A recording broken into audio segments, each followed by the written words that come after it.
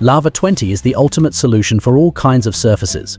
In this video, we will show the process of waterproofing a big commercial roof with the OWL Lava 20 waterproofing system. First, we need to apply TPO EPDM primer.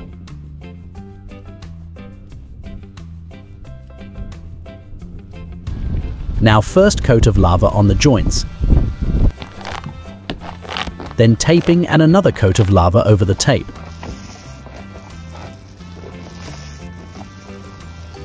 First coat of lava 20 on the surface. Then we used matting. Now the second coat of lava 20. Finally, we applied the optional white top coat.